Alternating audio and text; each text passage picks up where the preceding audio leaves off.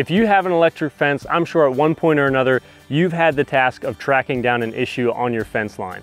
These issues, whether you call them grounds, shorts, or faults, are usually found with the energizer, your lead out wire, or on the fence itself.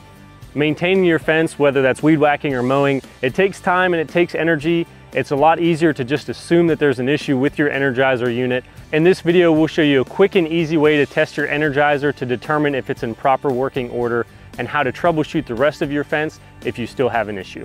We're going to use our fence tester to get our initial reading on the fence line. You can check out our other video where we walk you through all the different models of fence testers and fault finders out there to find the right one for you.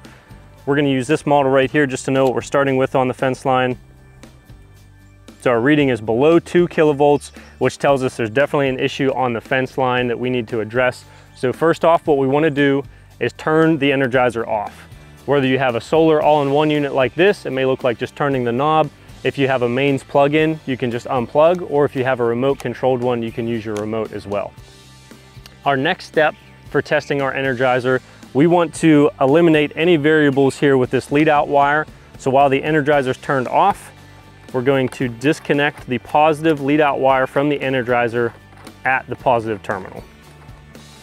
So once we have the hot lead out wire disconnected at the terminal, we can turn the Energizer unit back on. Just give it a second to get back in its normal rhythm. And now what we have is a fully grounded Energizer under no load or no working power for the fence, we can get a true accurate reading on just the Energizer itself. So when I come back here to the positive terminal, I'm gonna use my fence tester, put this right on the positive terminal. This will give us a reading on the Energizer itself. So we're reading 9.0, that's really high, that's really strong, it's a great signal for an Energizer. So what we're looking for here is a reading of seven kilovolts or greater. That would indicate that the Energizer is working properly. If you get a reading below seven kilovolts, it's indicating that the unit probably needs repaired and potentially replaced. If you call into Kencove, we can help direct you to an authorized repair center to take care of your Energizer for you. All right, so in this case, we've ruled out the Energizer as the issue on our fence line. Next, we can move along with our troubleshooting to test our lead out wire. So what we're gonna do is we're gonna turn the Energizer off and reconnect our lead out wire.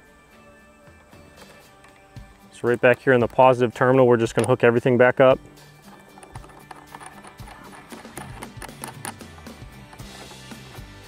And while the Energizer is off, disconnect the lead out wire from the fence, whether this is an alligator clip or a split bolt holding coated wire on high tensile wire, whatever that looks like, just disconnect that junction. And now when we turn the Energizer back on, we'll be powering the unit. We're still grounded and the only load that we have on this Energizer is the length of our lead out wire. So when we make contact with our fence tester to the metal on this alligator clip, we'll get a good reading here. We're seeing 8.8, high eights, so that's basically the same reading we were getting on the Energizer itself.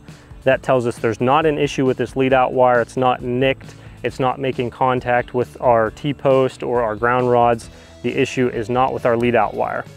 And another thing to consider too, you might want to test this in the position that it's in when it's on the fence line, just to make sure this is its natural position. If it's contacting anything or it's got a fray in it that it should not, we're still good, 8.8. .8. So the lead out wire is okay.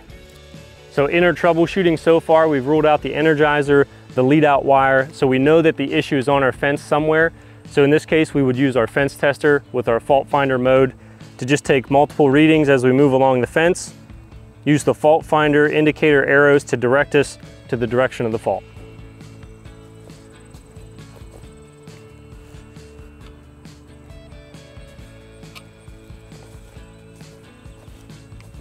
So on our lap around the fence using our fault finder, we came across this post here.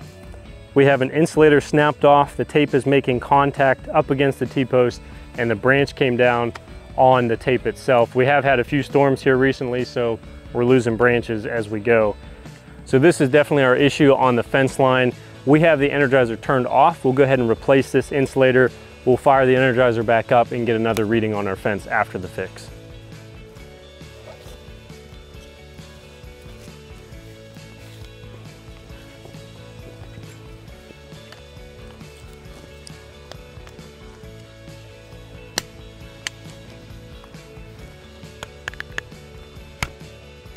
There we go.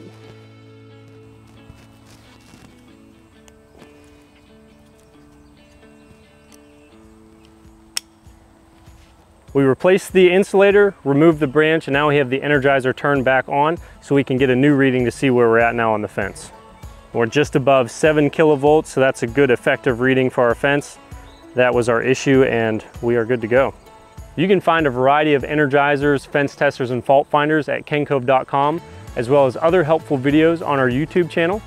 And if there are any fencing related questions or topics you'd like us to cover in our videos, please leave your suggestions in the comments below. And as always, be sure to like and subscribe to our channel for more fencing tips and expert advice.